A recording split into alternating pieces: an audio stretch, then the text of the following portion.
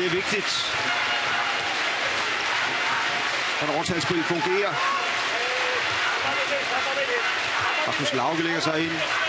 Godt spillet. Og Lasse Svand, udligning 7-7. Fremragende overtalsspil. Fremragende bold fra Mikkel Hansen.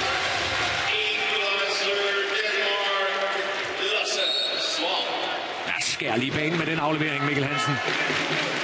Og Flensborgs Lasse Svand Hansen.